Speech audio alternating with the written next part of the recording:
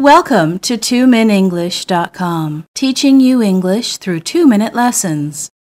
In this lesson, we will learn the phrases that you can use when you visit a post office.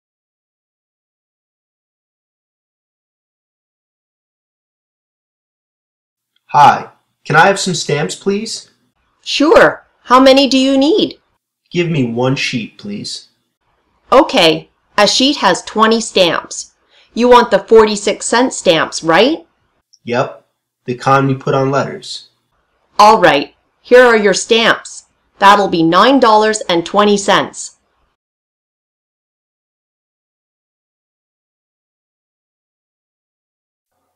Hello. How do I send a registered letter? You just need to hand it over to me and fill a form. Okay. Can I have the form, please? Sure. Do you want a return receipt?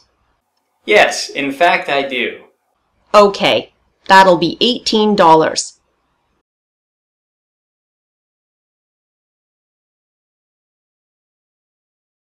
Hello, what can I do for you?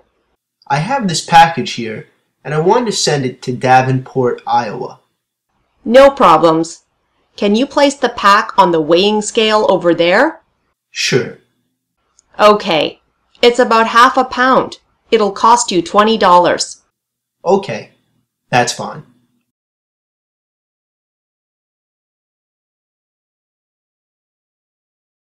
Hi, how can I help you? I sent a registered letter four days ago. It hasn't been delivered yet. Four days? Yeah. Well, it might be delivered today. I think you should wait a couple of days. But it should have reached by now. I'm sure it'll be delivered today. Why don't you check back tomorrow? Is there any place I can do this online? Yeah, just go to our website and fill in the details. It'll give you the shipping status.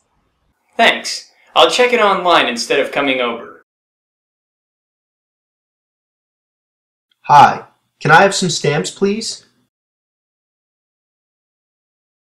How do I send a registered letter?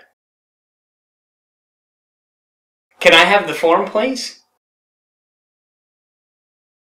I have this package here, and I want to send it to Davenport, Iowa.